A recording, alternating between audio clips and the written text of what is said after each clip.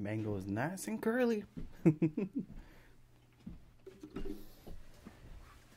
You know, after building with Colau for nearly a decade, I started this business, and for the last 19 years now, I've been dealing with all the different brands and customers and hearing what uh, you guys like and don't like. And so I get to factor all that kind of stuff in for this line, and it's it's kind of exciting for me. It's gonna be fun. Yeah.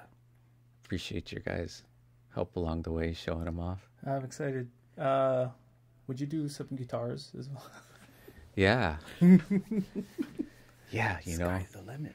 I Well, already I, I I was um just talking to them actually about doing a small classical in the lattice. Oh, Oh, yeah. what would a steel string guitar sound like?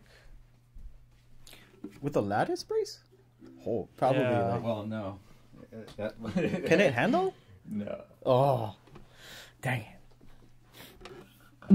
Too much power for one guitar. you know, as much as I would want to like change the strings, it still sounds really good with the the Alohi's on. Yeah, if I had more time, I would have changed them, but it sounds good. then it's like, well, whatever. It's you know, that's why uh, like really good sounding instruments, they kind of just sound good Yeah. with whatever. no matter what strings you put on, as long as it's not a defective set, it'll, it'll work. One of my beefs with titaniums is they kind of go out of tune with heat. yeah, or cold. Like the minute you leave the room, it's like or going up.